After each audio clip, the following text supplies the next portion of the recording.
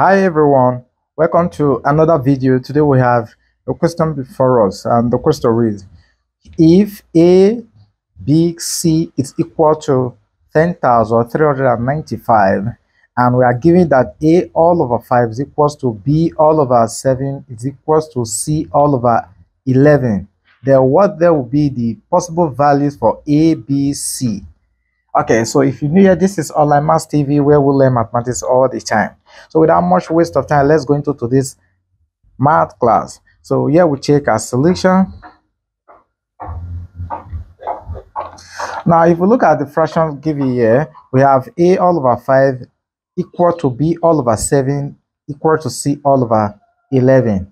So it means the quantity here is equivalent to the quantity here and it's equivalent to the quantity here.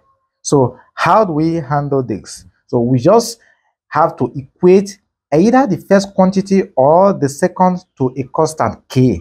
So from here, it means that our a all over 5 is equal to a constant k. So with it, it also means that our b all over 7 will be equal to this same constant k. And also, our C all over 11 is equal to K also. Right? Good. So, if we have this, then this is all over 1, invisible 1. This also all over invisible 1. So we can make A the subject of the formula here, make B the subject of the formula, and make C the subject of the formula. So let's go ahead and do that. So from here, it also implies that RA is equals to 5k okay and b is equal to 7k and c is equal to 11k right? This is this is right?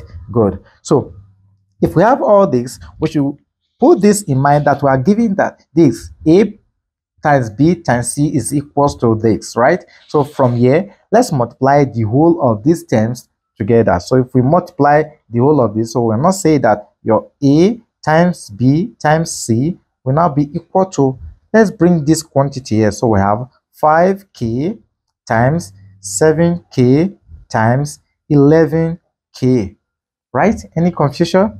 No. So if we multiply all this together, this will in turn give us here 385k to the power of 3.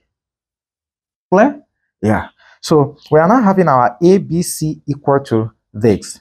But recall, we are giving ABC from the question here, from the beginning. Okay, so let's go and substitute into this. So this now implies thus that our A times B times C is equals to 385 k to the power of 3.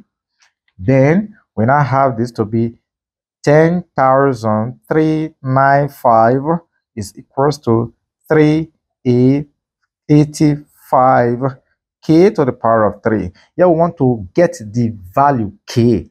That's what we're trying to find for here.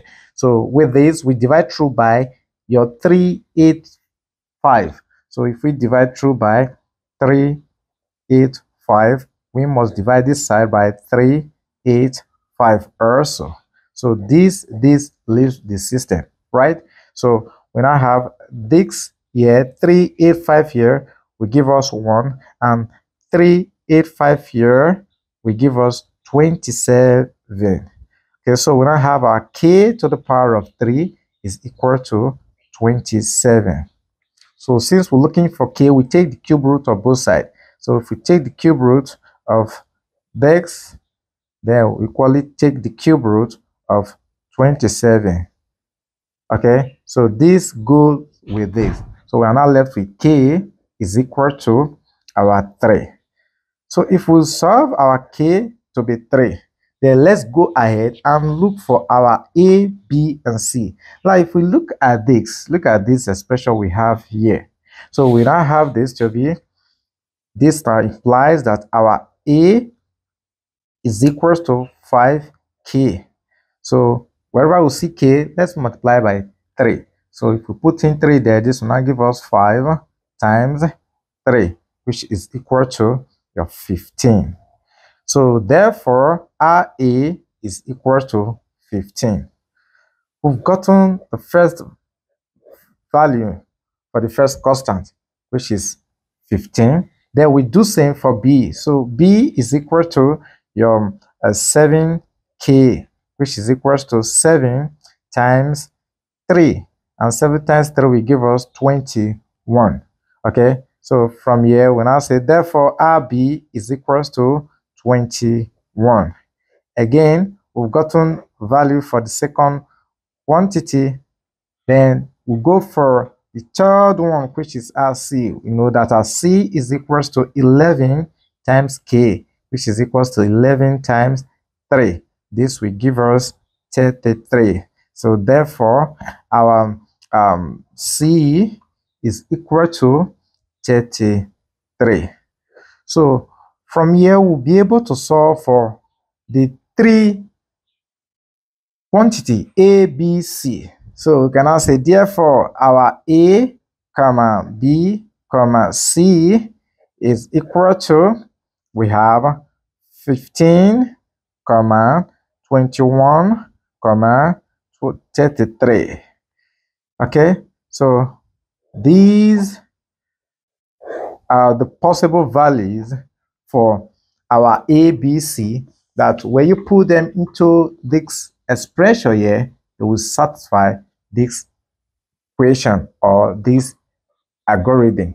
Okay, you can go ahead and put the value of A here. If you use this to divide X, it will give you 3. And you put the value of B here using to divide, it will give you 3. Put C here using to divide, and it will also give you 3 or true 2 to tell you that the answer satisfy our expression.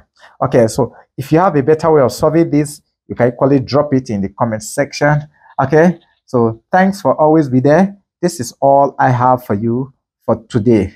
Bye for now.